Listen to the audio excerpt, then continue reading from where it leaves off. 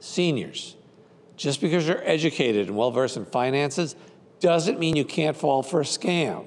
I recently talked about the financial expert who was convinced to give $50,000 in cash to a sophisticated scammer.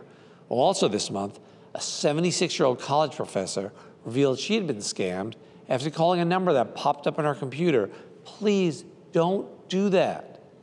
After being threatened with arrest over the phone, something law enforcement does not do, she sent $187,000 to what she thought was the federal government for safekeeping. Not satisfied with her haul, the scammers convinced her to keep sending money for months until she was out $400,000. After decades as a professor, she's now relying on food banks and a GoFundMe her daughter started to raise money on her behalf.